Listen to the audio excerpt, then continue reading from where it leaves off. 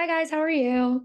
Good, how are you? Good. Doing great. So to start, you guys both get to within a show like Quantum Leap, which is very cool to kind of see in 2024. You both get to play these extremely strong and smart women that are very like they're complete opposites of each other, but exist within this same universe. And so for you both, what has been the joy of getting to, you know, be not only a part of a show that lets two characters like that kind of coexist, but also getting to play characters like that who do have their own motivations that are so different from one another? Um, I think it's really, really cool. Like where I think this show in particular is super em empowering for women, um, not just on screen, but off screen too. Like so many of our department heads are female and just kicking ass. And so as soon as you step on set, it's like, it's just, uh, it, there's woman power everywhere. it's amazing. Yeah, both both of our DPs are women, and then um and then Pam was back, who yeah directed you twice now, right? She directed you yes. in Secret History and obviously in the upcoming um As the World Burns. It's super exciting. I mean, it's been awesome, and I also just really appreciate that where there's such a tendency, right, to to put make this a love triangle, make this mm-hmm. like right. oh, like Addison or Hannah or whatever that there's hashtags. Um but but instead of doing that being like i love one of my favorite scenes we ever shot in this show was the egypt scene where hannah asks oh is that addison and for the first time we're in a scene together and sure we're there's some things and we're figuring that out in that moment um but then we start to build this weird relationship not weird but cool relationship where the writers and the actors if we want to give ourselves any credit for it, could have really leaned into the, the like, I don't know, I, I don't want to use cattiness, but like for lack of yeah. a better mm-hmm. that. Um, yeah. and it wasn't that. It was like this respectful appreciation of differences and kind of mature way of looking at this entire situation, which was really nice. Yeah. Yeah. And I mean, Leslie, you do get to have like the everyone was like, well, wait, I like this character. I wanted to go back. And then having the news that like oh she is even though she was part of a very specific time period has been you know talked about by fans and it's that's kind of the joy of quantum leap is you're like well how are we going to see this person again somewhere down the line because he's leaping into bodies so for you to like get to kind of be for the audience like our guide into like oh here's how these characters can come back what has been the most exciting part for you as an actress to get to play that kind of role in a show like Quantum Leap? Oh, I mean, there's so many parts I love, but um, I mean, I think for me, I ever since I started working in the industry, I said I wanted to do something set in the 50s or 60s or 70s. And now in one show, I've gotten to do all three. Um, yeah it's like it's it's been like my little my inner child is singing like she just is so happy that i get to do this and i think for me that's been my favorite part but also developing a character who you see from you know in her uh, early 20s to um well i can't say how old we see her next time but you know um you get to see her at, at really important moments in her life and you see her development and kind of figuring out okay well um we're 10 years on from the last time we've seen her. Do i pitch her voice down? Do i you know um does she move differently? What's she been through in these 10 years? And that as an actor has been really really challenging and fun. Yeah yeah Caitlin, I do love. I the last time I talked to you was with the episode where Caitlin's like not Caitlin, you're Caitlin, where Addison gets to see her dad again, and the nice. the like diving into like her past trauma and her relationship with her family. Moving on into this, but I do like what you said about it not it being a love triangle, but not playing into the those tropes.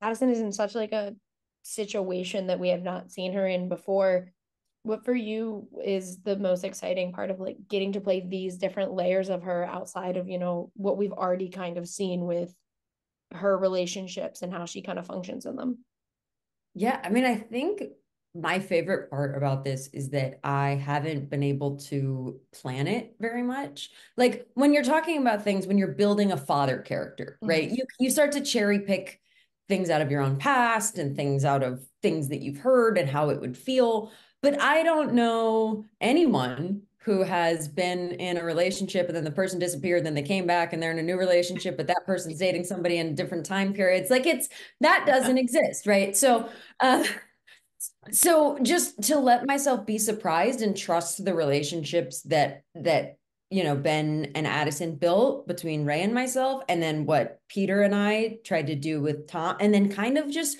live in those moments Mhm. and try and let it surprise me because you just can't you can't plan that like there's not there's just no reference point so i think that's been my favorite part i just had to be like let's see what this might feel like in this moment And I do too. I for my last question, it's gonna take a minute. So I'm starting my last question now.